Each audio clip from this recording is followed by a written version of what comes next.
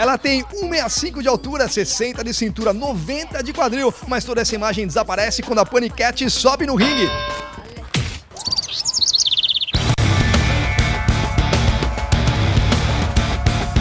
Quando é que começou o interesse sim, pelo esporte, pelo boxe? Faz pouco tempo, tô tentando ainda pegar muita coisa, não, não tô muito familiarizada ainda, mas já tô me divertindo bastante, bem legal.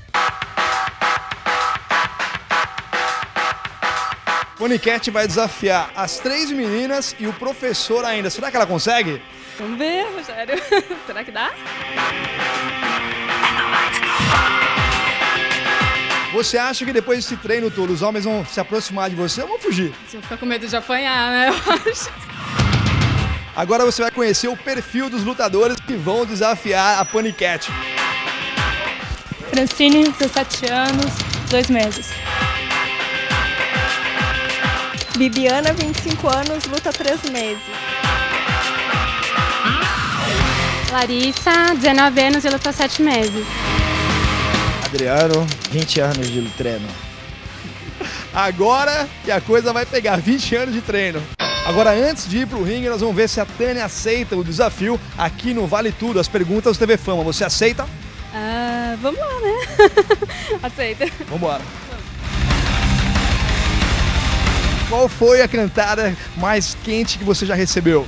E vem de tudo, vem até pedidos de casamento, vem umas coisas loucas assim. Você já fez um ensaio sensual, né, para um site. Você toparia posar nua numa revista masculina? Se for um- uma proposta legal, um trabalho bacana, para uma revista legal, eu não vejo problemas. Qual é o perfil de homem que se enquadra no seu perfil?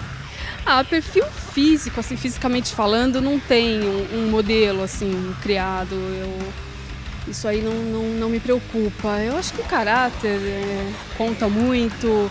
Se a pessoa te respeita, se gosta do seu trabalho, se te ajuda, se é seu amigo, se é companheiro, eu acho que isso é importante. Pro ringue agora ver? Vamos, vamos só um pouquinho mais agora.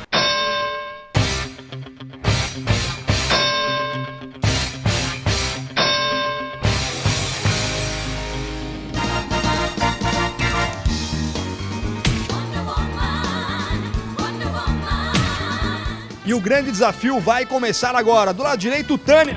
Tânia Oliveira, Paniquete, 26 anos, invicta 3 lutas e um mês de boxe. Do lado esquerdo, o campeão Bad. Adriano Verdelli, 20 anos de treino. A luta vai começar agora, mas as imagens a seguir não são apropriadas para o horário.